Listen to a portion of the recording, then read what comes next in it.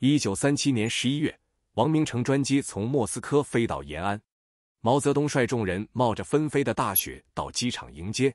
当日飞机延误，毛泽东在风雪中等了三个小时。两人见面时亲了又亲，抱了又抱。毛泽东发表了讲话，吹捧王明是神仙下凡，还说要饮水思源，表示对苏联金钱物资援助的感谢。今天我们就聊聊王明和他所认识的毛泽东。王明。原名陈少宇，一九零四年出生于安徽金寨县双石乡马头村。金寨县位于鄂豫皖苏区境内。王明一家都参加了中共的革命。王明是全家人中最早参加中共的，他对亲属有重要的影响作用。父亲陈聘之参加了金寨地区立夏节起义，妹妹陈觉民在一九二九年时加入了中共，在鄂豫皖根据地工作。小妹陈应民，一九三一年参加了红军，并在一九三六年担任西路军妇女团连指导员。中共建政后，在重庆工作。弟弟陈少伟也早早加入了中共，从事文化教育工作。抗战时期到了延安，与长期宣传王明家境富裕不同，实际上王明家境贫寒，但他自幼聪颖，在私塾读书过目不忘，轰动一方，以致有当地富豪认他为干儿子，资助他读书。一九一九年，王明进入临县河南省固始县志诚小学学习。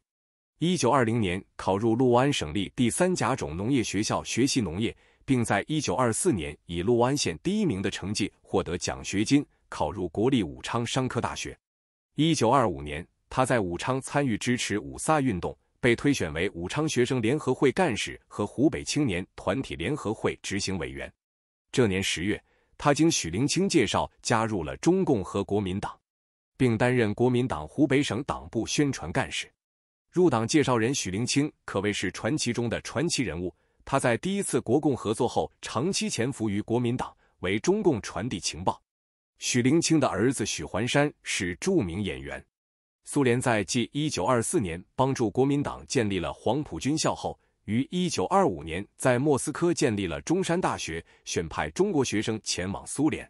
此消息一出，火爆异常。蒋介石的儿子蒋经国、冯玉祥的儿子冯洪国、邵力子的儿子邵志刚、于右任的女儿于秀芝、汪精卫的侄子陈春浦、李宗仁的弟弟李宗义等纷纷前往中山大学。湖北有十个名额，王明报名的时候，名额已经满了。但王明找了各种关系，软磨硬泡，争取到了去苏联的机会。据湖北党组负责人吴德峰回忆，当时二十一岁的王明已打电话到警察局告密，让谁也走不成，威胁他。为避免麻烦，湖北省借用其他省多余的名额，于十一月送他前往莫斯科中山大学学习。王明这一去，就再也没有回过家乡。他的同学有张闻天、沈泽民等。人生路很漫长。但关键的就那么几步，王明学习努力，练就了一口流利的俄语，理论扎实，富有辩才，脱稿演讲高潮迭起，掌声不断，在学生中声誉很高，被选为中山大学学生公社主席。王明在这里结识了他的伯乐，中山大学副校长米夫。一九二七年一月，受中共中央委托，苏共派米夫率代表团到中国，传授群众宣传及建立党校的经验。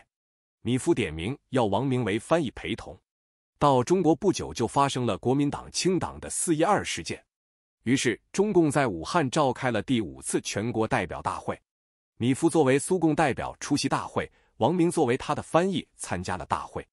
会议按照共产国际的决议，批评陈独秀犯了右倾错误，但陈独秀仍然当选为总书记。米夫授意陈独秀安排王明任中共中央宣传部秘书。不久，王明随米夫回到了莫斯科。此时，中山大学校长被斯大林撤职了，两个部门正在为争夺领导权斗得热火朝天。熟悉中国传统文化的王明，让米夫拉一派，打击另一派。米夫这个局外人，渔翁得利，成为了中山大学校长，并在一九二八年三月担任共产国际东方部副部长。米夫对王明青睐有加，王明在米夫的支持下形成了王明派。这年六月。中共六大在莫斯科召开，米夫推荐王明为大会翻译科主任，并提议王明进入中共中央领导层。此时，南京国民政府已经与苏联断交，共产国际无法再派驻华代表，于是通过常驻共产国际中国代表团指导中共。常驻共产国际中国代表团由瞿秋白、张国焘、邓中夏、王若飞等人组成。一九二九年四月，王明回到上海，在中共中央宣传部任职。不久被英国巡捕逮捕。王明违规让巡捕直接到中共中央秘密机关送信，要求中央保释。于是米夫委托赤色救难会驻上海代表牛兰，花费巨资将王明营救出狱。李立三对王明违规传递消息，暴露中共机关，给予党内警告。一九三零年五月，爆发了蒋介石同冯玉祥、阎锡山之间的中原大战。这次军阀混战历时半年多，双方投入兵力达一百万人。这时，中共负责人李立三准备浑水摸鱼。他兴奋地说：“现在中国革命的高潮已到了，目前夺取政权的任务已经到了我们的前面。”通过了通由他起草的《新的革命高潮与一省或几省的首先胜利》的决议。制定了以武汉为中心的全国总暴动和集中红军进攻中心城市的冒险计划，但此时虽然混乱，但共产党的力量非常有限，想浑水摸鱼也得有足够的实力。共产党的许多秘密组织都被暴露，满洲、顺治、河南、山西、陕西、山东、湖北、福建、浙江、广东、湖南等十几个省委的机关先后被破坏，武汉。南京等城市的党组织几乎全部瓦解。一九三零年十二月，米夫作为共产国际代表秘密来华，到了上海，他立即单独召见王明。王明汇报了中共情况。听了汇报的米夫要求中共中央立即召开中共六届四中全会。一九三一年一月七日，中共六届四中全会在上海秘密举行，会议由向忠发主持，米夫操控。在会上。王明作长篇发言，点名批评李立三、瞿秋白，并提出对共产国际的路线百分之百的忠实的口号。最后，米夫作总结发言，对王明大加赞赏，表示王明能将马列主义理论应用到中国革命实践。经米夫授意，会议改选了中共中央政治局委员李立三、瞿秋白等人落选，王明跃升为中共中央政治局委员。米夫回到苏联后。共产国际表示完全支持中共六届四中全会及王明的上台。有了尚方宝剑的王明，成为了中共中央的实际控制人。孟庆树是黄埔军校第一批女学员，被誉为“黄埔校花”。王明对孟庆树一见倾心，展开了猛烈的追求。但是孟庆树根本看不上其貌不扬、身长不足一米六的王明。但功夫不负有心人。一九三零年，从事妇女工作的孟庆树不慎被国民党逮捕。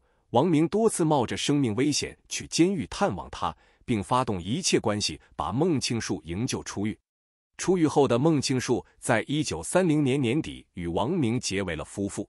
王明上台，屁股还没坐热，顾顺章、向忠发就相继被捕了。上海中央遭受极大破坏，于是王明安排上海中央迁往江西根据地。任命博古担任临时中央负责人，自己则迁往莫斯科担任中国共产党驻共产国际代表，以共产国际的名义遥控中共中央。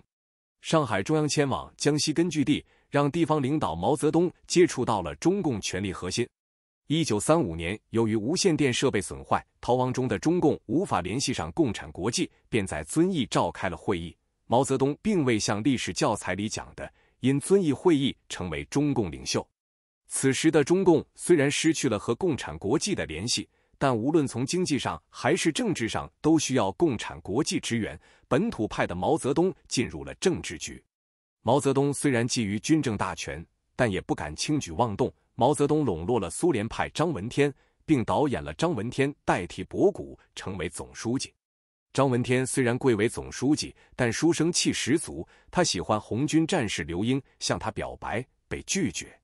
得知此时的毛泽东便将刘英调到中央担任秘书长，并建议他多向张闻天请教和学习，还特意交代刘英要重点照顾好张闻天的生活，撮合了两人。这样，张闻天和毛泽东的关系更铁了。毛泽东内心是瞧不起这个连找老婆都需要帮忙的张闻天的。但表面上，毛泽东吹捧张闻天是开明君主，今日的屈辱之后翻身是要加倍补偿的。毛泽东掌权后，多次在大会上讽刺张闻天是教条主义，言必称希腊，说自己当时是怀着极大的忍耐接近张闻天的。逃到陕北的中共接到王明的指示，要建立抗日民族统一战线，于是，在瓦窑铺召开会议。遵义会议是毛泽东命运的转折点，而瓦窑铺会议则是中共命运的转折点。这次会议从之前的反蒋抗日转变为联蒋抗日，虽然反蒋的本质没有变，但利用抗日这个道德的制高点赢得了生存空间。毛泽东曾公开称赞王明同志提出的抗日民族统一战线的新政策是一种伟大的发现，没有这个政策。我党和红军很难摆脱当时造成的那种困境。瓦窑铺会议后不久，毛泽东就和张学良搭上了线。张学良暗中资助了中共数十万大洋、武器、军衣、粮草。之后更是发生了震惊中外的西安事变，中共从此转危为安。一九三七年十一月，王明乘专机从莫斯科飞到延安，毛泽东率众人冒着纷飞的大雪到机场迎接。当日飞机延误，毛泽东在风雪中等了三个小时。两人见面时亲了又亲，抱了又抱。毛泽东发表了讲话，吹捧王明是神仙下凡，并对苏联的金钱物资援助表示感谢，说要饮水思源。中共中央召开政治局会议，王明被增补为中共中央书记处书记。此时的王明身兼中共中央政治局委员、中共驻共产国际代表、共产国际执委会委员。主席团成员数职。根据共产国际的意见，中共实行集体领导，张闻天主持党务，毛泽东负责军事，王明负责统一战线工作。此时，延安街头墙上满是“王明同志万岁，拥护中国和世界革命的领袖王明同志”的标语。王明与毛泽东各自打着算盘，在王明看来，中共是共产国际的一个支部，他代表国际，是中共的领袖。毛泽东则希望借助王明赢得共产国际的信任，取得共产国际更多的援助。在十二月的政治局会议上，王明说：“蒋介石是中国人民有组织的力量，如果不联合蒋介石，客观上等于帮助日本。”直指毛泽东，周恩来应和了王明。不少人进行了自我批评，承认过去有狭隘观念。王明在延安威望如日中天。毛泽东在会上的处境十分困难。他后来说：“十二月会议上有老实人受欺骗，我是孤立的。我的命令不出这个窑洞。”在这次会议上，成立了中共长江局。当时武汉是中国的政治中心，王明到武汉就任中共长江中央局书记，由王明、周恩来、博古、叶剑英等组成中共代表团，在王明的领导下。长江局利用各种条件宣传共产党，并输送大批青年前往延安。周恩来兼任国民政府军事委员会政治部副部长，并完成了新四军的组建工作。中央政治局常委几人中，除正在接受批判的张国焘被边缘化外，张闻天、毛泽东、康生、陈云四人在延安，王明、周恩来、博古、项英四人在武汉，双方分庭抗礼。此时的王明在武汉发号施令，亦是风头无两。毛泽东在后方并没有坐以待毙。在一九三八年三月的政治局会议上，毛泽东提出要把王明留在延安。当时参会的政治局八名成员中，支持毛泽东的提议的有毛泽东、张闻天、任弼时三票；支持王明的有王明、周恩来、陈云、康生、凯丰五票。结果毛泽东的意见被否决。于是，毛泽东加紧笼络刘少奇、彭真、高岗、李富春，并并任命陈伯达、胡乔木为秘书，编写中共党史，核心内容就是党的历史，就是毛泽东的历史，并把中共一大抬到前所未有的高度。同时，派心腹任弼时飞赴莫斯科进行运作，向斯大林传递毛泽东对苏联的忠诚度丝毫不逊于王明的信息，同时传递王明是国民党特务的信息。任弼时留在苏联任中共驻共产国际代表，由王稼祥带回了共产国际对毛泽东的支持。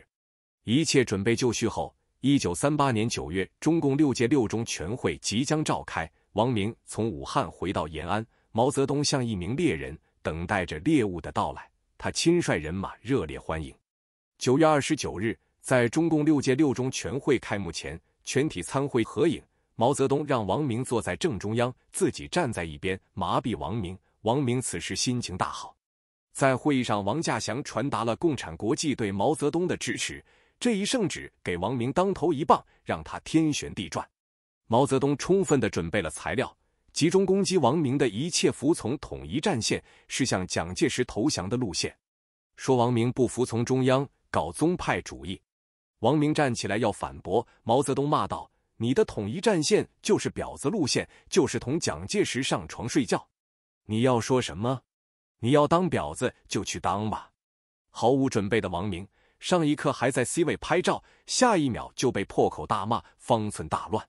原本是王明拥趸的康生，本就被毛泽东拉拢，见王明遭如此羞辱，竟毫无还手之力，便马上站队毛泽东，墙倒众人推，大家纷纷和王明划清界限。会议撤销了长江局，免去了王明的书记职务。为了羞辱王明，让他在延安担任女子大学校长、中央妇女运动委员会主任。后来，康生评价王明演说像个天才，斗争像个侏儒。随着王明的失势，毛泽东成为了统一战线的所有者。王明主张的统一战线被称为右倾机会主义。一九四一年，王明因扁桃腺发炎而住院，在这次住院中，王明汞中毒，中央领导纷纷前去看望。王明在回忆录中说是毛泽东指使医生下毒。据说康生一直珍藏着王明的病历。王明从此身体每况愈下，长期遭受汞中毒的困扰。这一年十一月，毛泽东趁总书记张闻天去进西北视察，代替张闻天主持中央政治局的会议，实际上夺取了中央总书记的职务。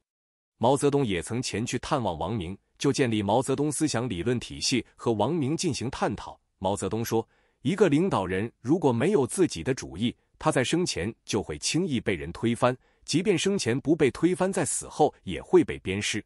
马克思有马克思主义，列宁有列宁主义。他们虽然分裂出许多派别，但谁都不敢出来反对马列主义。孙中山有三民主义，国民党内尽管派别林立，但谁都不敢出来反对孙中山和三民主义。我如果不建立自己的主义，即便党的七大选举我当了党中央主席，我也可能被推翻。如果一个人没有自己的主义，一般不会有好下场。一九四二年，在延安整风运动中，王明受到了严厉批评。毛泽东说：“人屙屎可以喂狗，狗屙屎可以肥田。王明的教条比狗屎还没用。”之前追随王明的周恩来、康生、博古等人都将他抛弃。一九四三年六月，毛泽东来到王稼祥住处，要王稼祥写一篇文章，推出毛泽东思想，并与他详细讨论了文章的内容和结构。经过一个星期，王稼祥写出了一篇标题为《中国共产党与中国民族解放的道路》的文章。一九四三年七月八日，这篇文章发表在《解放日报》，第一次正式公开提出毛泽东思想。毛泽东思想就是中国的马克思列宁主义，中国的布尔什维克主义，中国的共产主义。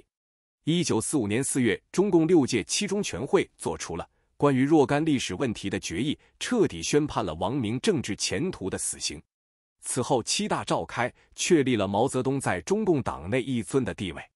王明称病不参加七大，毛泽东亲自带着两个担架员到王明的窑洞，用担架把他抬到会场，让他看看谁是话事人，也让大家看看王明现在的状态。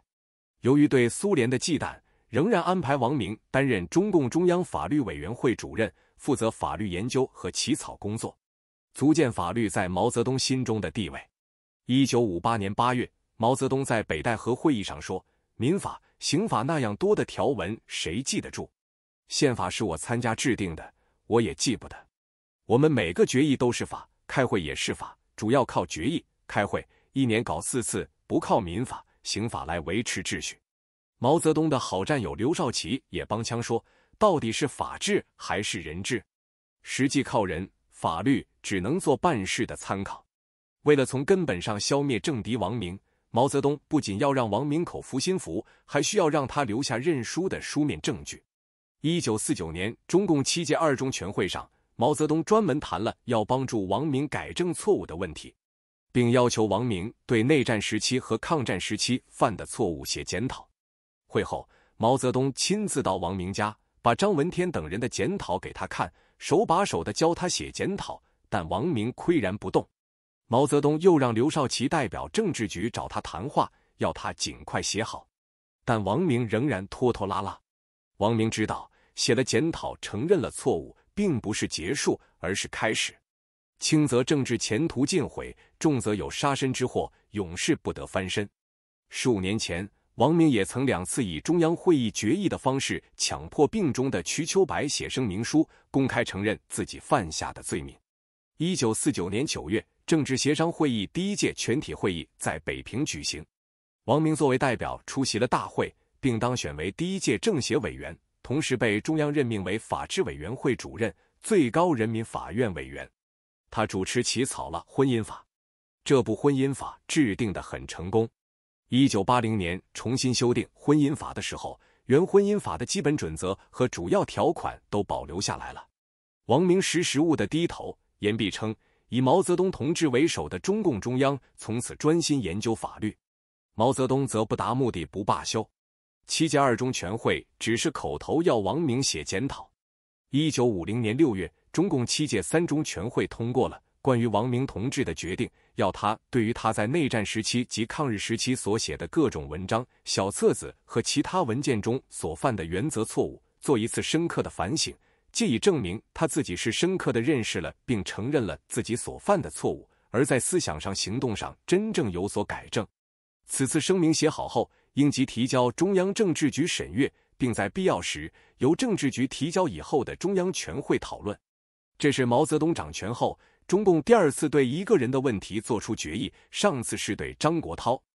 王明因并没有出席七届三中全会，直到七月底，王明才从文件中看到全会对他的决定。毛泽东不需要通知他，毛泽东只需要告诉全党，王明已经彻底垮台了。王明仍然是采用拖字诀，他于八月给毛泽东和中央书记处写了一封信。表明三中全会决定要我把内战时期及抗日时期所写的各种文章、小册子及其他文件均作出检讨，这需要相当久的时间。毛泽东在王明的信上批示，王明的声明书应在十一月上旬七届四中全会开会以前写好，并送交政治局。王明的笔记本及武汉时期的报纸，请尚昆查清是否尚有保存。以上两点由尚昆口头通知王明。对王明步步紧逼。王明在一九五零年九月提出到苏联医治。十月二十五日，王明夫妇、两个孩子以及保健医生、保姆一行六人乘火车去了苏联。在莫斯科经过三年的治病养病后，一九五三年十二月，王明一家回到国内，在法制委员会仅仅工作了几个月，便旧病复发，住进了北京医院。一九五四年九月，第一届全国人大召开。法制委员会被撤销，王明在政府中不再担任任何职务。虽然王明一度在中央身居高位，家中多人早就加入了共产党员，但他们并未受特殊照顾。